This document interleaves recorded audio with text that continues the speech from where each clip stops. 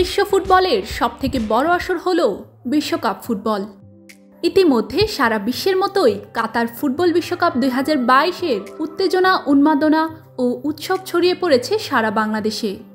দল নিয়ে নানা রকম পছন্দ, অপছন্দ থাকলেও বাংলাদেশের সবচেয়ে জনপ্রিয় প্রধান দুই রাজনৈতিক ব্যক্তিত্ব প্রধানমন্ত্রী ও বাংলাদেশ আওয়ামী লীগের সভাপতি শেখ হাসিনা ও সাবেক প্রধানমন্ত্রী ও বিএনপির চেয়ারপারসন বেগম খালেদা জিয়ার রয়েছে ফুটবল বিশ্বকাপের পছন্দের দল।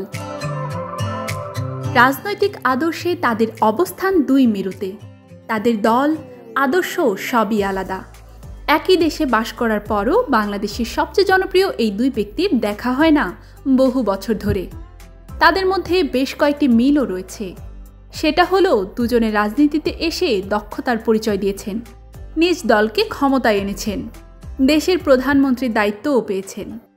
দুজনেরই আছে বিপুল সমর্থক।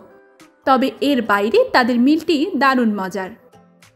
জানা গেছে, বিশ্বকাপ ফুটবলে তারা দুজনই ব্রাজিলের কট্টর সমর্থক। শুধু এ দুজনই নন, জাতীয় সংসদের বিরোধী দলীয় নেতা রংশন এরশাদও ব্রাজিলের অন্ধ সমর্থক। এছাড়াও প্রধানমন্ত্রী শেখ হাসিনার পুত্র সজীব ওয়াজেদ জয়ের পছন্দ, পাঁচবারের বিশ্ব চ্যাম্পিয়ন ব্রাজিল।